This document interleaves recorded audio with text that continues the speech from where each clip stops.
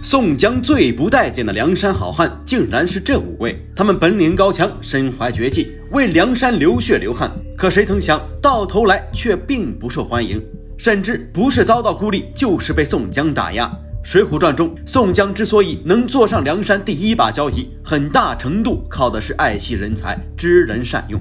换句话说，就是非常懂得拉拢人心。但是有例外，梁山中也有一些宋江不喜欢的人，即使这些人本领高、能力强，也照样不受重用。这到底是什么原因？本期我们就来盘点一下不受宋江待见的五位梁山好汉。第一位，鲁智深。鲁智深在梁山大排名中坐的是第十三把交椅。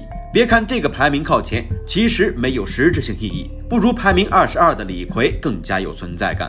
之所以这样说，是因为在梁山重大行动和决策中。鲁智深被宋江视成一个可有可无的角色，在《水浒》中，我们很少看到宋江去找鲁智深办事儿，顶多在开大会时让下面的人象征性的叫一下他。反观李逵的出场率就比较高了，尽管这个傻粗汉有时也会跟宋江对着干，但是在很多事情上，宋江还是会用到他。这其实主要就是一个信任性的问题。对于鲁智深一个外来人物而言，宋江不信任是肯定的。最重要的是，鲁智深唱反调的行为，让他这位老大敢怒不敢言。这就要从梁山军招安说起。首先，招安这个想法不是一蹴而就，而是宋江酝酿已久。宋江清楚的知道，一百单八将中有不少人和朝廷之间有着家仇大恨。在这样的背景下，他深知招安的阻力，于是，在提出招安之前，宋江的心里就做了下权衡。他要分析哪些人会反对，又有哪些人会支持，然后再对症下药，以此推动招安。在想到鲁智深时，宋江是拿不准的，因为鲁智深和朝廷之间没有什么难以释怀的仇恨，当年只是因为三拳打死郑屠夫才吃了官司。为了一探口风，宋江当即决定召开一个各大头领交流会，作为步军山寨的鲁智深自然要到场。可没想到，自己刚说到招安，鲁智深直接就提出了反对。这不仅瞬间给宋江泼了一盆凉水，还让他感到自己很没有面子。但没有办法，该忍着还是要忍。他没有办法去指责和呵斥鲁智深，因为鲁智深在梁山中的地位很高，而这个高不是指排名上的高，而是指他的圈子实力非常雄厚。夸张一点说，鲁智深在梁山中可以做到一呼百应。如果真的闹分家，梁山中可能很多有实力的好汉都会跟着鲁智深混。要知道，鲁智深在上梁山之前就有自己的驻扎地二龙山，二龙山的实力是不容小觑的。当时除了鲁智深，还有行者武松和青面兽杨志在这里坐镇，并且随着地盘的扩张，越来越多有实力的好汉都加入到了里面。就此而言，如果鲁智深不上梁山，凭借着手底下的这些兄弟，也可以独霸一方。因此，鲁智深上梁山之后，宋江对他十分敬畏，怕他会有喧宾夺主之意。而鲁智深这样性格的人，确实不会对他马首是瞻。宋江感到，在鲁智深面前当老大的优越感全无。这样的话，他不喜欢鲁智深也就不奇怪了。说完鲁智深，下一个宋江不待见的人就是武松了。武松和鲁智深的脾气一样，宋江对他们都是敢怒不敢言。不一样的地方是，宋江先前和武松是有过交集的，两人最先见面是在柴进的府上。宋江那时就觉得武松是个人才，而武松也十分仰慕宋江的为人，两人都希望以后能有机会在一块共事。梁山聚义时，武松随着鲁智深也到了。宋江见到武松非常高兴，决定势必要感化和拉拢他，一心要把他培养为自己的心腹亲信。除夕之夜，梁山晚会上，好汉们大口喝酒，大口吃肉。宋江让乐和作曲助兴，当唱到“愿天王降旨早招安”这句时，武松直接拍桌而起，毫不客气地怒怼了宋江。这声怒怼让宋江吓坏了，他知道武松的脾气，所以也不敢对他怎么样。事后他又召开了洗脑大会，可没想到武松再次出击，接连让他两次下不来台。从此之后，两人之间的兄弟情分就彻底淡了。宋江也不再寄希望于武松，对武松总是一副冷冰冰的表情。他是梁山中活得最憋屈的好汉，屡立奇功，多次挽救梁山，却得不到宋江重用，甚至成了梁山排名中的牺牲品。此人正是古上骚石谦。盘点梁山中不受宋江待见的人，石谦也名列其中。在梁山一百零八将排名时，石谦被排到了倒数第二。仅此一点就可以看出宋江有多么鄙视他。但这样的排名与石谦的卓著功勋十分不匹配，因为如果梁山按照所立功劳大小进行排名，石谦绝对可以排进前十。而他为梁山中所立的第一功是汴京道甲。呼延灼攻打梁山时所创的连环战马阵，让梁山军吃尽了苦头。而梁山好汉中没有一个人能直接破的这个阵法。当时宋江愁眉苦脸之际，金钱豹子汤龙推荐出了一个叫金枪手徐宁的人。这个徐宁惯用一把钩镰枪作战，恰好钩镰枪是连环马的克星。宋江认为，如果把徐宁骗上山，呼延灼的战马阵必能攻破。可问题是，徐宁当时是汴京金枪班的教头，手段高强，要让这号人数上梁山，必须得能找到他的把柄。在军师吴用建议下，石谦去徐宁家里盗取了一件家传之宝燕翎圈金甲，而这件金甲被徐宁视为生命。再加上宋江的半哄半骗，被诱使的徐宁这才上了梁山。后来在徐宁的操练下，梁山军都学会了钩镰枪，呼延灼的战马阵也就被攻破了。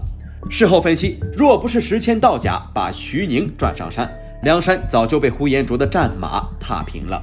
而从整个战局的纵向来看，石谦盗甲取得了三个效果：一是为梁山军赚得了两位武艺高强的大将，这两位大将分别是徐宁、呼延灼；二是壮大了梁山军的力量，个个都学会了使用钩镰枪，这对于日后正规作战是有利的；三是替梁山军壮大了声望。要知道，徐宁和呼延灼以前都是朝廷将领，他们投靠梁山，无疑给引起了一系列的连锁反应。到那个时候，梁山军就是众望所归，无论是名声还是身份，都会有很大的提升。可即使立下这么大的功劳，石谦在梁山中也常常会被忽视。在梁山大小征战中，石谦不会出面在正面战场上，总是会以背后偷袭的方式出现。从梁山军三打大名府到攻打曾头市，石谦都是在担当一个调皮捣乱的角色。不过，这个角色确实很适合他。石谦的个头在梁山中是最小的，这种小个头在偷袭中不会被容易发现。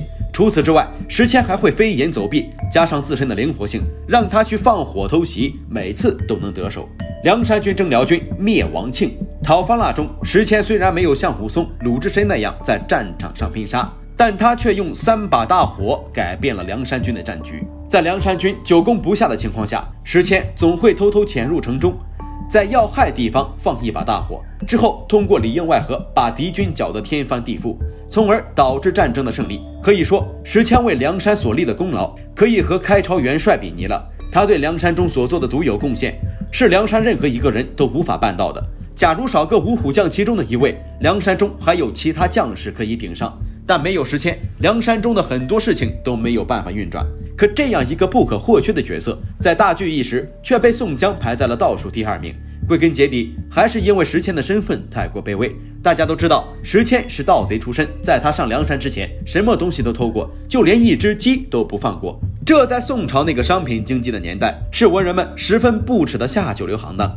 宋江自诩忠孝仁义，自幼接受儒理文化，自然看不惯这种下三滥的勾当。如果重用石谦，把石谦抬进天罡，那岂不是坐实梁山就是贼窝？从这个角度来看，宋江不但不能待见他，还要离他远远的。可惜这样做委屈了石谦。盘点宋江不喜欢的梁山好汉，其中这两位可以说让宋江恨之入骨，甚至差一点被他赶出梁山。不受宋江待见的第四位人物，活阎罗阮小七。阮小七在《水浒》中也是一个性格鲜明的人物。他一生不求富贵，只追求自由，把整日大碗喝酒、大口吃肉当做人生第一大快事。这就和宋江的价值观念不相符了。宋江崇尚体制，重视名声和功利，像阮小七这种整日无所事事、浑浑噩噩的人，他是瞧不上的。而其实阮小七心里也一直不服宋江，在梁山中唯一一个让阮小七肯俯首称臣的只有晁盖。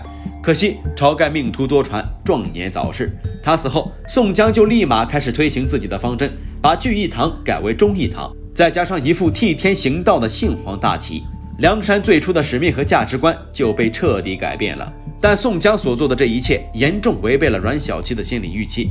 作为晁盖曾经的心腹，他是非常鄙视宋江的做法的。而宋江明确提出招安后，阮小七对宋江的称呼上也发生了改变。果真有毒的话，我就替宋大哥死了。从大哥变成了宋大哥，虽然是一字之差，但所表现出来的情谊是不一样的。要知道，在此之前，晁盖为老大的时候，阮小七一直尊称的就是大哥，这一称呼从未变过。不过，宋江也从来没有把阮小七当作是自己的亲信。换句话说，他和阮小七之间始终有一条界限。阮小七把这条界限直接当做隔阂。他第一次明目张胆的和宋江对着干的时候，是在运送御酒的那一次。当初朝廷派来使者到梁山商讨招安一事，说是商讨，其实就是纳降。阮小七心中一直憋着一口气，当看到送来的几十坛御酒后，直接萌生了一个大胆的想法。阮小七决定喝几口御酒尝尝，光自己喝还不行，还让手下的人跟着开怀畅饮。没过多久，御酒就被喝得一点不剩。喝完之后，阮小七觉得还不过瘾，直接往空坛子里装满了河水。如此一来，宋大哥他们就得喝河水了。阮小七就是这么大胆，他想借此给宋江泼盆冷水，给他来一个下马威，告诉这就是招安的下场。就这样，御酒被完美调了包。而当李逵兴致勃勃地喝到一口河水时，顿时气得暴跳如雷。要不是有宋江在场，朝廷派来的御史直接就被他手撕了。随后，武松气得把刀架在御史脖子上，场面一度混乱。宋江气得在一边脸色发紫，但却无可奈何。这场让宋江满怀期待的投诚，最终以失败告终。而这次偷换御酒事件，直接导致了梁山和大宋朝廷打了五场仗。这样一来，宋江怎么不恨阮小七？若不是顾忌晁盖的影响，他估计得把阮小七赶出梁山。而在征讨方腊结束后，阮小七继续我行我素，坚持要和宋江的亲宋行为斗争到底。他穿着方腊的滚龙袍，戴上紫龙冠，在人群中直来直去。回京后遭奸臣谗言，险些被杀头。而此时，身为大哥的宋江竟然选择装聋作哑，不但没有站出来为阮小七求情，更没有为阮小七做出一个恰当的安置。可见宋江对阮小七有多么不满。最后一个不受宋江待见的就是公孙胜了。公孙胜和阮小七一样，都是晁盖的嫡系。宋江之所以不喜欢他，原因在于公孙胜根本不把他放在眼里。《水浒传》中一回，宋江被逼上了梁山，就在这时，公孙胜向晁盖递交了辞呈，而辞呈的理由是和宋江一样，就是要回家探母。这就有点指桑骂槐的意思了。宋江知道后也是非常不解，他认为这完全就是在嫌弃自己。我刚来，你就要走，所以他对公孙胜的第一印象就不好。后来梁山军在攻打曾头市受挫的时候，李逵和戴宗费了好大劲儿才请得公孙胜出山，这让宋江不禁感到公孙胜的架子太大，我请你，你还推脱不来。再到后来，梁山军征讨方腊，公孙胜自知结局不妙，便再次递交了辞呈。如此一来，宋江对他就彻底没有了好感。但他对公孙胜也毫无办法，因此他知道惹怒一个会法术的道士，结果会是怎么样的。然而，就是这些不被宋江待见的人，最后却得到了善终。